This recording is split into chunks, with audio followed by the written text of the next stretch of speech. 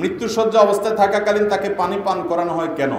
সবাইকে বলা হয় নাম ধরে ধরে পানি পান করানোর জন্য। কিন্তু তখন তার জ্ঞান থাকে না, সে তখন অচেতন অবস্থায় থাকে। সবাই বলে এতে নাকি তার কষ্ট কম হয়।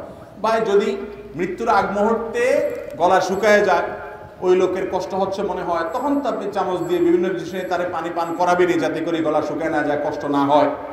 মৃত্যুর আগ মুহূর্তে অনেক কষ্ট হয়, সেজন্য তার পানির প্রয়োজন আছে মনে হলে চামচ দিয়ে যদি দেখেন যে তিনি নিচ্ছেন, পানি পান করতেছেন, নিতে চাচ্ছেন, তাহলে দিলেন, এটা ভালো জিনিস। কিন্তু পানি সবাই মিলে পান করাইলে সবাই আপনারা ফেরেস্তা আপনারা সব নেককার মানুষ, আপনাদের হাতের বরকতে ওই ব্যক্তির মৃত্যুর কষ্ট দূর হয়ে যাবে, এরকম কোনো কথা কোরআন হাদিসে এগুলো হলো হাদিসুল নিসা। আমাদের নিজেদের মান গড়া হাদিস। কথা কি বুঝাতে পারছি? পেশাবখানা বা টয়লেটে থাকাকালীন আজান হলে আজানের জবাব দেওয়া যাবে কিনা? জবাব দেওয়া গেলে কীভাবে দিতে হবে? পেশাবখানা বা টয়লেটে আপনি আসেন, টয়লেটে আপনি পেশাব পায়খানা করছেন এই অবস্থায়, বা ওই নাপাক জায়গায় আপনি আসেন পেশাবখানার ভিতরে, তো ওই অবস্থায় আজান যদি হয়, আপনি অবশ্যই আজানের জবাব দিবেন না। আর এছাড়া বাকি সব অবস্থায় এমনকি অপবিত্র অজু, বিনা অজুতে আছেন, তখনও আজানের জবাব দিবেন। এমনকি ফরজ গোসল অবস্থায় আজান শুনছেন, তখনও আজানের জবাব দিবেন।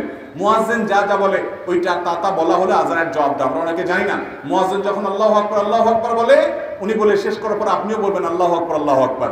আসাদুল্লাহ যখন বলে আসাদুল্লাহ বলবেন। আসাদুল্লাহ মোহাম্মদ রসুল্লাহ যখন বলে আসাদু আল্লাহ মোহাম্মদ রসুল্লাহ বলবেন। সাল্লাহ সাল্লাম এখানে না। শেষ করে আজানের জবাব দিবেন দোয়া পড়বেন, যখন আল্লাহ মোরাব্বাদ দাও তখন সাল্লাহ সাল্লাম পড়বেন। এরপর আসার হাইয়ার ফলাবার সময় আল্লাহ আল্লাহ কদিলে বলবেন? বাকিটা যা বলবে তা বলবেন। এভাবে যদি আপনি বলেন, মুয়াজ্জেন আজান দিয়ে যে সব পায়, আল্লাহ তা আপনাকে সেই সব দিবেন আর মুয়াজ্জেন আজান দিয়ে কি সব পায় জানেন? মুয়াজ্জেন আজান দিয়ে সব পায় হলো, যত মানুষ তার আজান শুনে আসে, তাদের সবার সমপরিমাণ নামাজের সব এক্সট্রা হিসাবে মুয়াজ্জেন সব পায়। বিশেষ করে আল্লাহর জন্য যদি আজান দেয় আল্লাহকে খুশি করার জন্য। আমাকে একবার এক ভদ্র মহিলা আমেরিকা থেকে ফোন করে জিজ্ঞাসা করছেন, হুজুর, আপনার এই বক্তব্য শোনার পর থেকে আমি আজানের জব দেওয়ার চেষ্টা করি, কিন্তু আমেরিকাতে আজানের জব সব জায়গায় শোনা যায় না। তো আমি চিন্তা করলাম যে মক্কায় আজানের আজান যেটা হয়, এটা লাইভ যে ব্রডকাস্ট হয়, সরাসরি রেকর্ডেড না। তো ওইটার জব আমি দেবো। তাহলে মক্কা হারামের মোয়াজের আজান শুনে কত মানুষ বাইতুল্লাহ নামাজ পড়ে, তাদের নামাজের ওজন কত? একে এক লাখে সব পাচ্ছে, আমি এটা সব পাবো পাবো কি না আমি চিন্তা করলাম সুহান আল্লাহ একজন মেয়ে মানুষ, একজন নারী, তিনি ইসলামে, দিনের একটা বিষয়ে সবাব আহরণের জন্য কি পরিমাণ তার পাগল পড়া কি পরিমাণ তার স্পৃহা এবং আগ্রহ?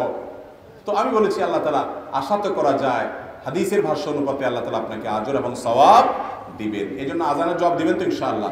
অনেকে আমরা আছি, এটা জানি না। কয়েক আজানের জব শুনলে প্রথম যে আজানের জব শুন জব আজান শুনছেন, ওইটার জব দিবেন। তাই বলে রেকর্ডেড আজানের জব না আবার লাইভ আজানের, মসজিদের মাইকের আজানের জব শুন দিবেন। কিন্তু এই জবটা সর্বাবস্থা দিতে পারেন। ফরজ গোসল হলে তখনও গোসল করা ছাড়াও আজানের জব দিতে পারবেন। কিন্তু টয়লেটে দিবেন না। কারণ ওই জায়গায় আল্লাহর নাম উচ্চারণ করা জায়েজ না। আব্দুল আব্বাস সহ অনেক সাহাবায়ে কেরামের ফতোয়া আছে। এরপরে নিষেধাজ্ঞা যে টয়লেটে আল্লাহর নাম নেওয়া যাবে না।